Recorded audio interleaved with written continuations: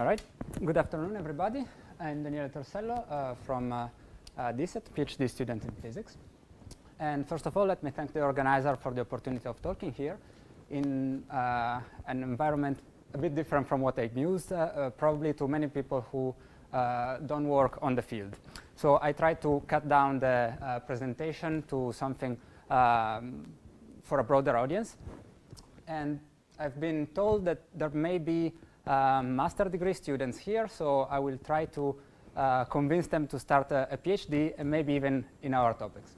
So mm, what I've been doing in my um, PhD is to study the effects of disorder in iron-based superconductors. To do this, we apply a combined approach, experimental and theoretical. And this is what I'm going to try to explain um, in this talk. First of all, uh, how the uh, experiment works. Then how do we model the system to get some more information than what just the bare data tells us. And then uh, how the uh, introduction of disorder in these materials uh, changes the properties of the materials themselves. And then in the end, try to convince the students. So uh, let's start from something very, very basic. What is a superconductor and why do I want to study it? Superconductor is a material that below a certain temperature, that is usually very low, uh, has a zero resistance. So you can imagine it's something that can be appealing for uh, applications. Another um, particular property is that below this um, critical temperature, it also a perfect diamagnet. So it expels the magnetic field out of the sample. And this is used, for example, for levitation. And as I said, it, these properties can be appealing for uh, application in very diverse uh, fields. For example, here we have um, superconducting qubit, so the very base of uh, the future of computing, basically. And here, something uh, on a larger scale, you can use uh, the uh, superconducting material to uh, cast cables and use it for carrying current. And since you can carry a very high current, you can use it to produce very strong magnetic fields. So this is a magnet for the Large Hadron Collider. So as you can see, uh, there are lots of reasons to study superconductors. And in, particu in particular, if you think that you want to always find new materials with better and better performances, um, this drives uh, this field uh, to study uh, more peculiar and complicated material with very complex phase diagrams, like the one here uh, shown for iron-based superconductors, the system that I'm going to study. And for these systems, um, the existing theories, like BCS theory, uh, for the coupling of electrons to produce Cooper pair that support superconductivity uh, are not sufficient anymore, and one needs to go beyond this. And so the fundamental study of this material um, is needed to uh, go on with applications. So I hope I convinced you that it's worth something uh, working here. And um, this is actually the topic of my thesis. Uh, we study iron-based superconductor in this, in particular, I will focus on this system, the 122 family of uh, iron-based superconductors. And we try to characterize their properties using a microwave resonator technique. This was developed by Professor Gianluca Ghigo in our group. And um, once we measure some property, we also want to um, get more information from them, trying to relate them to the fundamental properties of the material. So we need the uh, theoretical model that was developed, and an expert is uh, Gianni Ummarino, Professor Gianni Ummarino, also in our group. So the three quantities that we measure with our uh, setup are the London penetration depth, that basically tells you how far a magnetic field can uh, penetrate inside your material. Then the quasi-particle conductivity, uh, conductivity, and the surface impedance, real and imaginary part. That is something that you want to know for applications, uh, for example. So how do I perform the measurement? Of course, we need to go to very low temperature. So we need a cryocooler. We have a completely dry system without liquid helium running around. And we have a network analyzer because we work with uh, microwave frequencies. Um, vacuum system, it can be coupled to an external field using a superconducting magnet. And all this huge setup uh, has only one very small heart that is down here. It's the resonator. We have a superconducting resonator. Um, it's a coplanar waveguide. And what I do is I place a very, very, very small sample, 200 microns by side, um, on the central strip of the uh, central uh, of the coplanar waveguide. So by doing this, I couple it to the resonator and I change the resonant properties of the system, basically.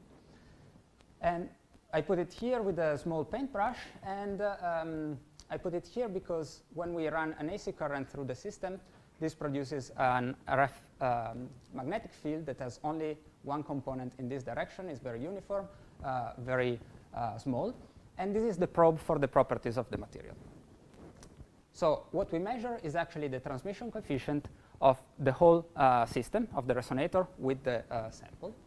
And we do it as a function of temperature. So we have many resonant curves, and we get from each one of these the resonant frequency and the quality factor of the resonance. So we get two curves that are the red ones for the uh, resonance frequency and quality factor as a function of temperature for the system that is composed of the resonator itself, that's basically the measurement chamber, and the sample. Then we perform a second measurement without the sample, and we look at the, uh, and we get this curve and this curve, and we look at the relative shifts between these. Why do we do that? Because it has been shown, and I will not go into the detail and bore you, um, it has been shown that these shifts of these two curves are related to how the carriers propagate in our system, in our sample. So from that, we get the London penetration depth, quasi-particle conductivity, and surface impedance after a calibration to get the absolute values. Just trust me on that or ask me later. And um, these are the three quantities that we basically get out of this measurement for the sample that was put on the central uh, strip. And from this measurement, um, we want to get something more than just the bare information. We want to understand how um, the fundamental mechanism of superconductivity happens in this material. We want to uh, get something out of that. And to do this, we need the um, theoretical modeling tool, basically. To do that, we need some more information. So what, what you need to uh, understand about this material is only one thing. These iron-based iron -based systems are multi-band materials. And uh, when you have a superconductor, you have a parameter, the order parameter, uh, that is different from zero. And uh, it's basically the width of the gap that supports superconductivity. In a multi-band material, it can have uh, different values on different bands. And in particular, since it's a complex quantity, you can have a, a sign change uh, between different bands. This is the so-called S plus minus symmetry of the order parameter that has been uh, thought to be characterizing this family. Another possibility would be an S++ plus symmetry where there is no uh, change of sign between different bands. This is one of the things that we want to understand, which one is the correct one uh, for these materials. So again, we need uh, the modeling tool. Uh, it's uh, the solution of the Eliashberg equation very complex one that, among other things, gives you, for example, the London penetration depth. So we want to calculate the same thing we measure, compare them, and try to understand something more about the material. Of course, you have many input parameters here. You can set to zero some of them by uh, looking at what kind of material you're using, and uh, you can make some other assumption, and you reduce this number of parameters to just a few ones that are the coupling, so basically how strongly you can, uh, the electrons interact one with each other to uh, form Cooper pairs. That's a hand-waving argument, but more or less that's it.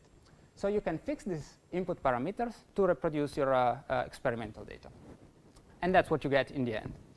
We have the symbols that are the experimental data and the solid lines that are uh, the theoretical approach. It's not exactly a fit. It's uh, an expectation, let's say, from the theory um, for the uh, London penetration depth, three different materials, well, three different dopings of the same class of materials, and uh, the quasi-particle conductivity. We get a very nice agreement between experiment and theory.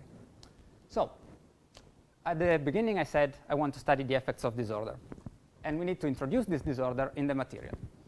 We do that by performing ion beam irradiation. So basically, we have access to three different accelerators, three different beam lines, at the Laboratori Nazionali di Legnaro of INFN. And basically, we can choose different energies and different ions to shoot on the material. What we do, we actually um, bombard, uh, um, shoot uh, atoms on the, on the material and produce disorder, uh, vacancies, and interstitial in the crystal. And that's the disorder we want to study. So we perform the measurement again and again after each irradiation session because we uh, our measurement system doesn't uh, damage the crystal itself. And we see how the properties change. For example, the critical temperature, where, where lambda diverges, decreases with in increasing the dose, and the low temperature value of the penetration depth increases. And again, we uh, try to interpret this data within the model. Uh, by, we fix the last three parameters by um, reproducing the decrease of critical temperature, and again, we get a nice fit. What we get out of the model more than just the measurement is, for example, the information about the values of the gaps uh, on the different bands as a function of temperature and as a function of increasing disorder. And we noticed this is a case for a potassium-doped um, material with 250 MeV uh, gold ion irradiation. We notice that for the highest dose, we we have a sign changing um, of on one on the, on the, of the bands. So we thought this is still an S plus minus symmetry because we have still a sign change between different bands. But maybe if we irradiate more and more, we get the S plus plus symmetry that uh, is another possibility. And so we found out that some theoretical group um, predicted this kind of transition with increasing disorder. So they said, you introduce disorder, this produces scattering of the carriers. And this pushes the gap values to converge to just one. And if you think about, I have a positive gap and a negative one, at some point, if they are converging somewhere, they either go to zero or they, uh, at some point, will have the same sign. And they predicted that this uh, happens with the so-called S plus minus to S plus plus transition and will leave a signature in one uh, property that is measurable and that is related to the London penetration depth. Basically, the low temperature value of the London penetration depth will not be monotonous um, at the transition. We have looked for it uh, by performing 3.5 MeV proton irradiation on some samples, and we actually found it. Um, by increasing the dose to very, very high uh, values, we have the critical temperature that st first starts decreasing linearly as we expect, and then flattens out. And the low temperature value of the London penetration depth first increases and then drops. And this discontinuity is the one that was predicted by uh, these theoreticians. So again, we want to validate, because this is just a hint, uh, experimental hint, we want to validate this idea, and we perform uh, the calculation with our model. We fit the, all these different data, so seven um, measurements with different values of disorder. We, have, we have a good agreement on all of them, and here you can see this is uh, experimental, and this is calculated quantities uh, that relate to the London penetration depth. They have the same increase at low temperature uh, with increasing disorder. And they uh, basically look the same. So last information uh, out of it is the values of the gaps. We have fixed all the input parameters. We get this additional information. And basically, we see that at some level of disorder that is exactly the same one where we have seen this uh, change of behavior, uh, the small gap changes sign and realizes the so-called S++ plus symmetry. So by doing this irradiation experiment, we have basically demonstrated that this transition exists and that the pristine material actually had the S plus minus symmetry because otherwise there was no transition possible to the S plus plus state. Okay, so in summary, we have this technique that gives three different uh, quantities as a function of temperature from one measurement, ideal for small samples and non-destructive, that we couple to this Eliashberg analysis where we can um, reproduce the same data and get some additional information. We use this to study disorder effects, and we were able to identify this transition between different symmetry states that uh, reflect the uh, coupling between um, electrons in this, in this system, basically.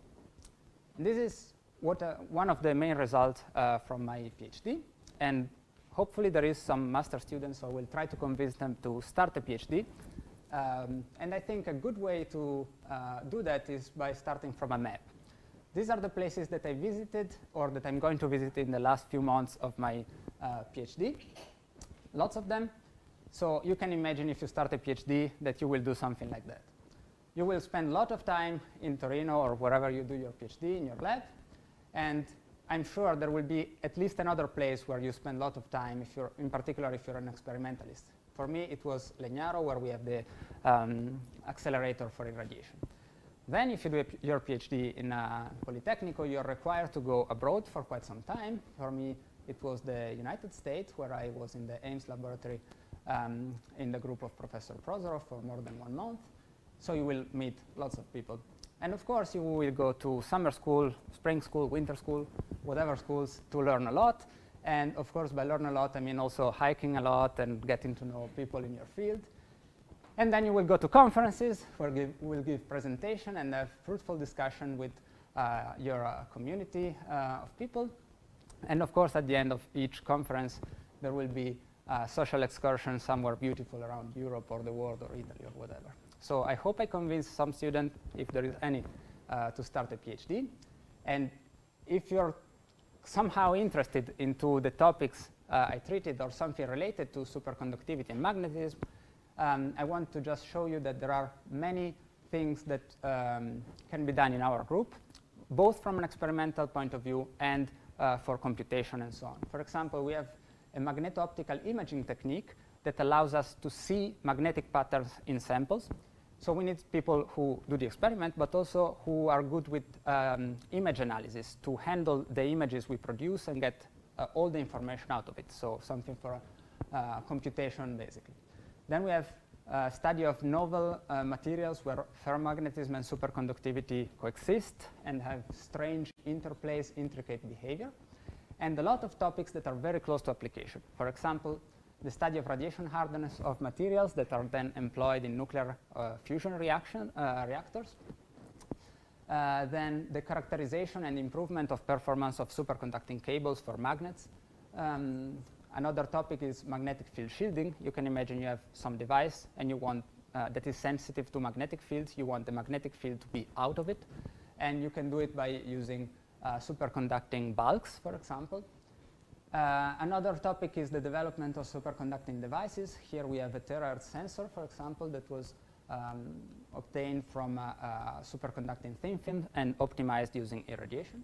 And all these last uh, topics require not only people who will actually do it in the lab, but also some very strong support from, uh, for example, finite elements modeling of high temperature superconductors. So again, also computation is very important in this field. So I hope maybe someone at some point will be interested in it and just write me an email and we will uh, schedule an appointment or something. Thank you.